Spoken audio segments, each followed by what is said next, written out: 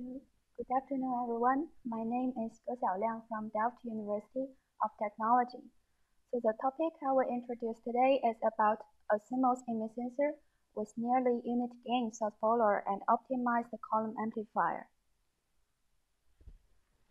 Nowadays, an increasing requirement for better visualization under the photon-starved conditions calls for the development of the low light level image sensor. And such kind of image sensor can be used in a variety of applications. For example, the medical imaging, the scientific imaging, night vision, and astronomy imaging. So in order to build such kinds of image sensor, there are several potential technology available. For example, the silicon photomultiplier, the previous speaker already introduced it, the EMCCD, the SPAD, and CMOS image sensor technology.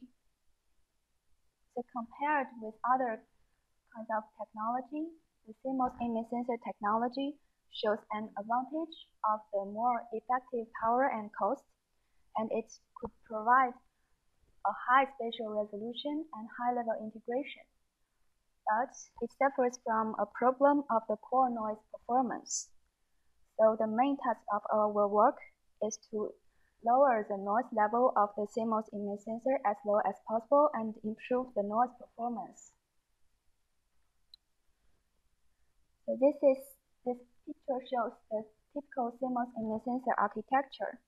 And from this figure, we can find several dominant noise contributors in the CMOS image sensor.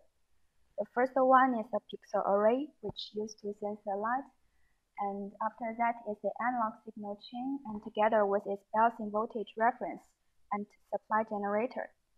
And in this work, we will mainly deal with the noise problem with the pixel array and analog signal chain.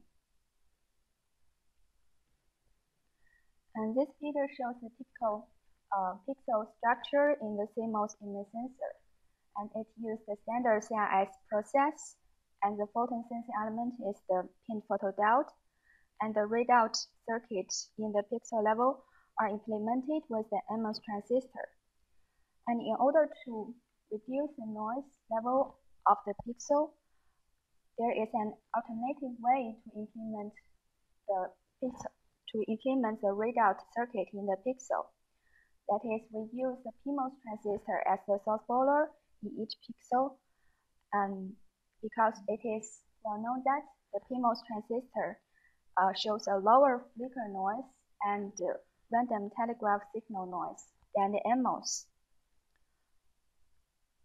However, compared with the MOS source follower-based pixel, the conventional PMOS source follower-based pixel have a problem of the voltage gain degradation, and it will cause the, the conversion factor decreasing. Mm, from our knowledge, we know that the gain of the follower is equal to the intrinsic transconductance divided by the intrinsic transconductance plus the body effect transconductance. And the body effect transconductance is increases with a higher doping concentration and also a lower body source voltage. And from the pixel circuit, we found that for the PMOS source follower, the source body voltage is equal to the supply voltage uh, minus the pixel voltage plus the VGS of the PMOS transistor. And for the MOS source follower, the, the source body voltage is equal to the pixel voltage minus the VGS and minus the ground voltage.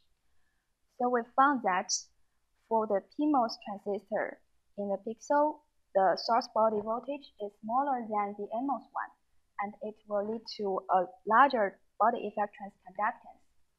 And the result is it shows a much smaller gain than unity.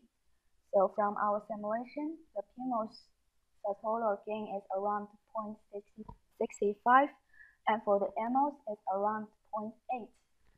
And this figure shows the relationship between the input voltage and the gain.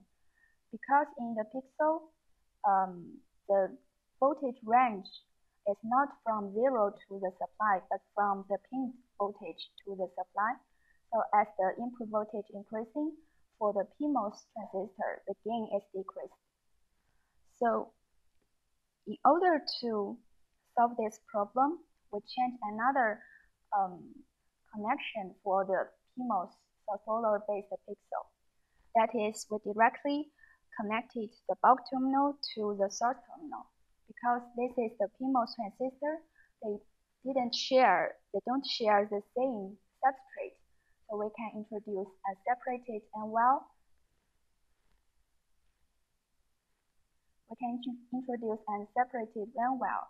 And with this kind of connection, the source body voltage is equal to zero and the GMB is approach zero. And from the simulation, the gain is approach unity.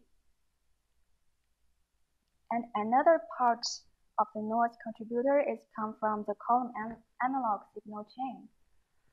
So the uh, we usually use the switch capacitor CDS amplifier as the analog signal chain.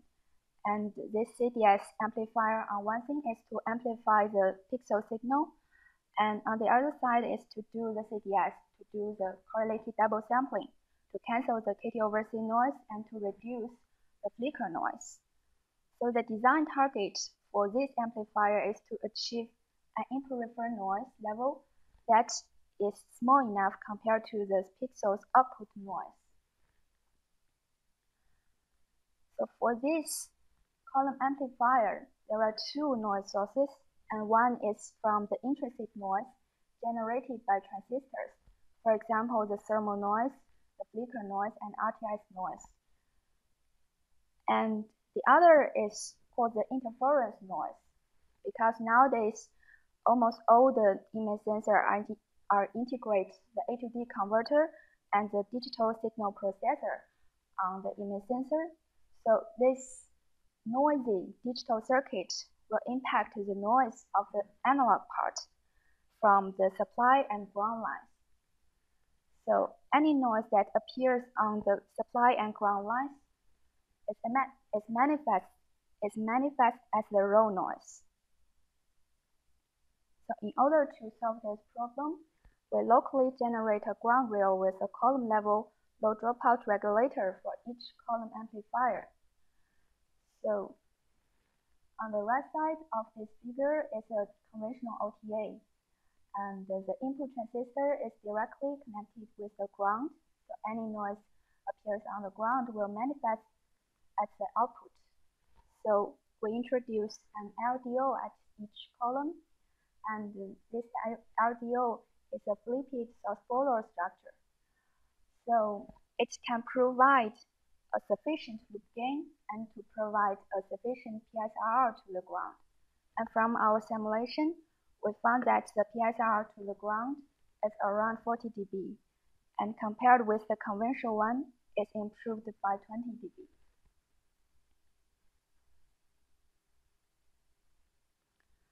So in order to validate our um, proposed design, we implement one test chip and we use the 180 nanometer CMOS image sensor process. And the pixel array are, are divided into two parts. For the reference pixel array and the other is a proposed pixel array. And each pixel size is 11 by 11 micrometer. And the column amplifier gain settings are from 1 to 16. So this figure shows the measured conversion factor for the reference pixel with the body effect, the conversion gain multiplier the gain of the source follower is equal to 71 microvolt per electron. And for the proposed pixel without the body effect, the conversion gain multiplies the gain of the source follower is around 120 microvolt per electron. So without the body effect, the conversion factor at pixel level is increased by around uh, 40 percentage. And this figure shows the measured noise results. And from this figure, we found that when the gate settings equal to 1 or 2, the proposed pixel structure improves the input reference noise by 10 percentage.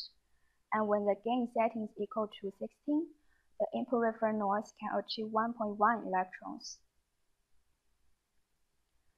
So in conclusion, uh, in this talk, we uh, implement one prototype CMOS image sensor tester chip, and we implement a nearly unit gain PMOS-based source follower pixel without body effect, and also implement an optimized column amplifier with local ground rail regulator.